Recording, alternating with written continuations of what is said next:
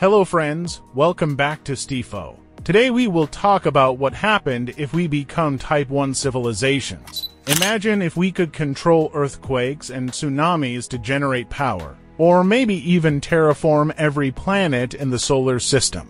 These are just a couple of the things that might happen if human civilization was to advance in the future, so how can humans get to this point? What other advancements will happen? And what makes us think we'll even progress this far? And here's what would happen if we became a Type 1 civilization. Global civilizations can be categorized into what's known as the Kardashev scale. This measures a civilization's ability to use all the energy available to it, and is scaled from 1 to 3. Currently, humanity doesn't even reach Type 1 civilization. This is because humans don't use all the forms of energy. On Earth we use wood, coal, and oil. But there's a lot more. So, what would change if humanity evolved into one of these types of civilizations?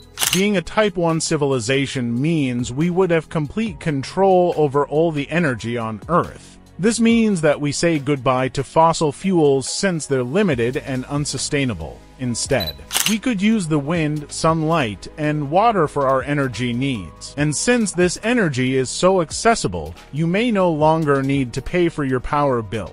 In a Type 1 civilization, we continuously be using energy. It would be as essential as oxygen. Tsunamis could be used to produce energy, and earthquakes could potentially be used to terraform parts of the world. With us having complete control over our planet's energy sources, we could also control the weather if an area of the world were suffering through a drought. We could disperse rain clouds over it and bring it back to life. Humanity could also say goodbye to global warming, as we be able to bring the atmosphere back to carbon neutral and control our planets. Temperatures, casualties from natural disasters would also be reduced, as we'd be able to predict when and where they might happen, and not only that, but we'd be able to live on places on Earth we've never have dreamed of before, like in the water as well as in climates that used to be unsuitable for us humans. Yeah. Living in a Type 1 civilization would be pretty great, but with things being this perfect, we might get a little bored. So, what if we took humanity one step further and became a Type 2 civilization or even a Type 3? A Type 2 civilization means we could harness the energy of the sun and use it not just on Earth, but throughout our solar system. We could use its power to travel to and terraform Mars or even a planet like Neptune. Becoming a Type 3 civilization would allow us to use all the energy in the galaxy and since the Kardashev scale was invented in the 1960s, scientists have come up with potential fourth and fifth types of civilizations. This is where things get a little tricky.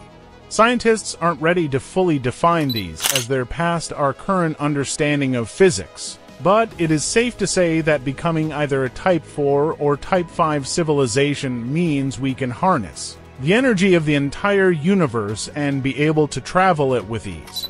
And becoming a Type 5 civilization means we'd all be practically gods. We could control and manipulate the universe in whichever way we please. There's no telling when we might evolve to these levels of civilization.